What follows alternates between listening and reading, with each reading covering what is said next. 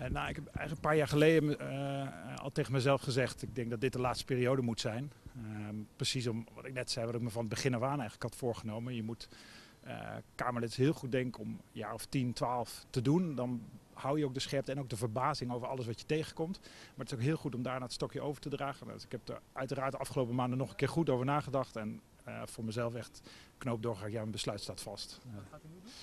Uh, ik ga ervan uit uh, dat wij als PvdA gewoon na een prachtige campagne uh, weer mee gaan doen in het volgende kabinet. Ik denk dat heel veel mensen nu Nederland er weer bovenop is.